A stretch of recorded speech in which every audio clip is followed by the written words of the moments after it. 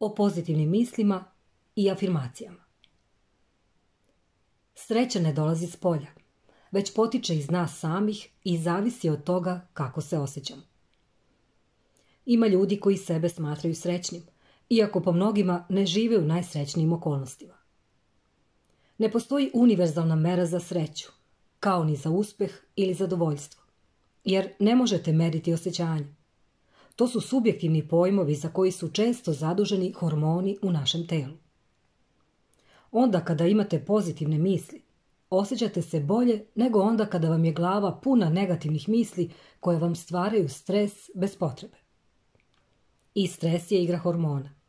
Usko je povezan sa kortizolom i adrenalinom i može vas razboleti. Zar ne može onda i obrnuto? Šta su pozitivne afirmacije?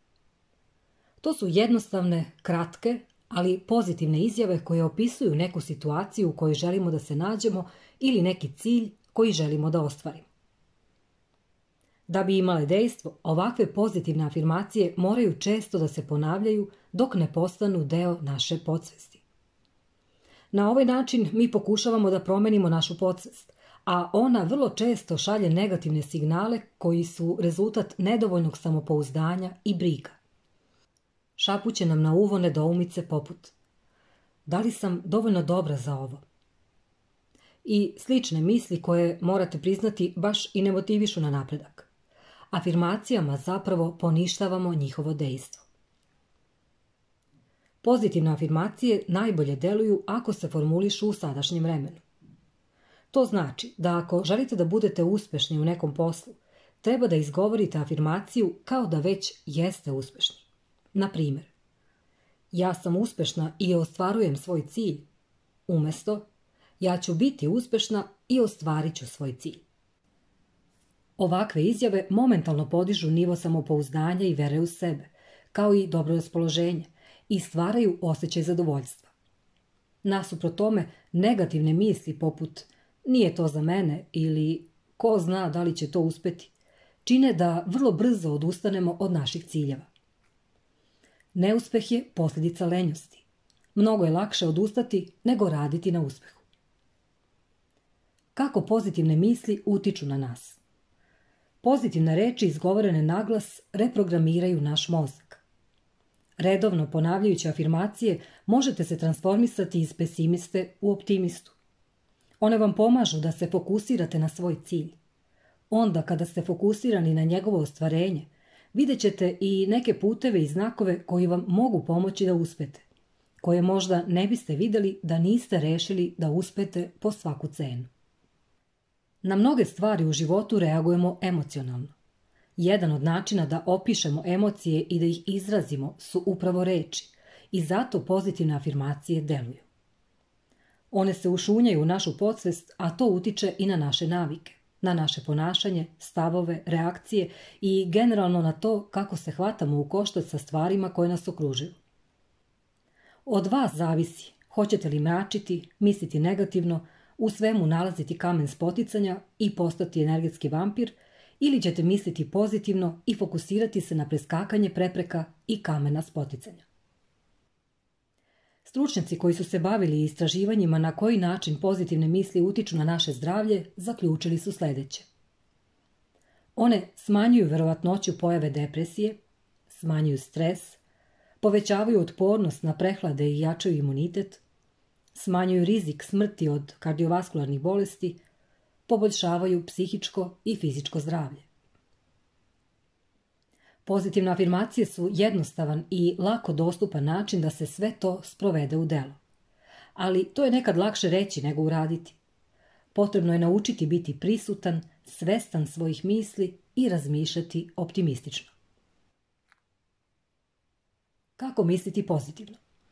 Nije dovoljno samo izgovoriti jednu afirmativnu rečenicu i onda nastaviti misliti negativno tokom dana. Da bi ove afirmacije uopšte imale efekta, Potrebno ih je ponavljati.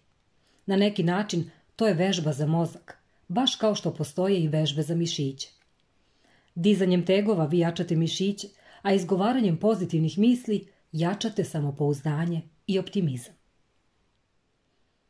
Da li sebe često uhvatite sa negativnim razmišljanjima u glavi? Pozitivno razmišljanje je proces koji zahteva vežbu. Svako od nas ima gomilu briga i svako od nas će se u jednom momentu naći zapleten u klupko rečenica poput.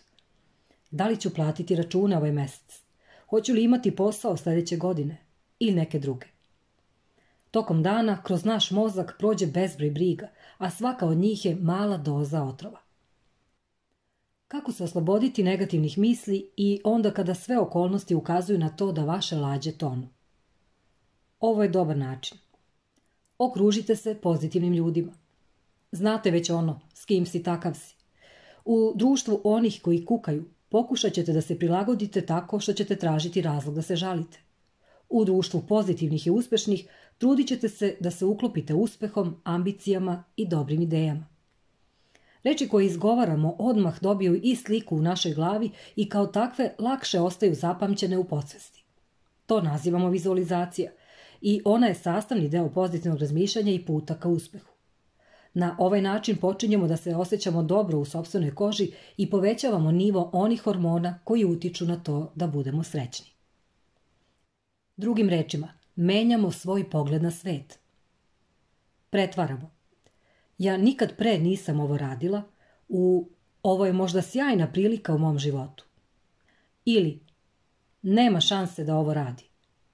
U moram da nađem način da to proradi. Pravilno ponavljanje pozitivnih afirmacija.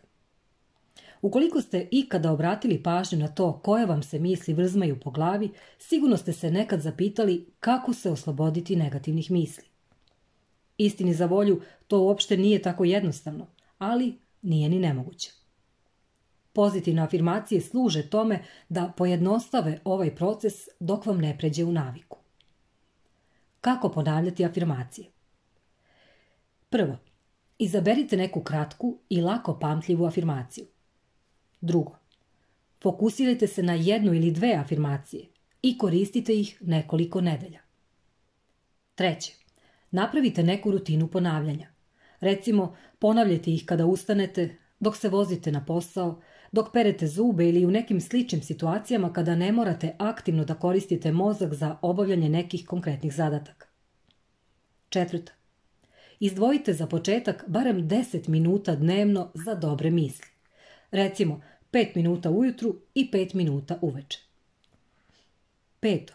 Obratite pažnju na reči koje izgovarate i probajte da zamislite sebe u priči koju pričate. Nemojte samo pričati u prazno. Verujte u to što govorite. Šesto, probajte da ne koristite reč ne ili nisam u vašim afirmacijama. Umjesto ja nisam debela, vi upotrebite. Ja imam savršenu liniju i zadovoljna sam svojim izgledom. Ovo su afirmacije za sve prilike. Kada se osjećate usamljeno. Ja uživam u ljubavi onih ljudi koji nisu pored mene kada ste uplašeni. Ja donosim prave odluke svaki put. Kada vam nestane samopouzdanje. Ja sam jedinstvena na ovom svetu.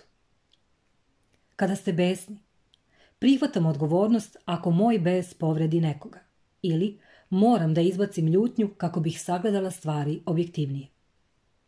Kada ste očajni i beznadežni, ja shvatam da je ova situacija dobra za mene kada ste neodlučni. Znam da će me moja mudrost odvesti na pravi put. Kada ste među nepoznatim ljudima. Ja sam lepa i pametna i to svi primećuju. Kada ste na poslu. Ja uživam u poslu i veoma sam uspešna u karijeri. Kada ustanete ujutru. Ovaj dan je sjajan. Kada brinete o novcu. Ja sam magnet za novac i privlačim bogatstvo kada se suočavate sa problemom. Svi moji problemi imaju rešenje. Kada želite da napredujete, ali se osjećate zaglavljeno. Odgovor je sigurno ispred mene, ali ga ja još ne vidim. Kada se upoređujete sa drugima, ja sam najbolja verzija sebe. Kada hoćete da odustanete, odustajanje je lako i ta opcija uvek postoji. Čekat će me i sutra. Ovo su samo neke od ideja i neke situacije u kojima se možete naći. Nije potrebno da tražite pozitivne afirmacije. Osmislite svoje, one koje su u skladu sa vašim ciljevima i vašim razmišljanjima.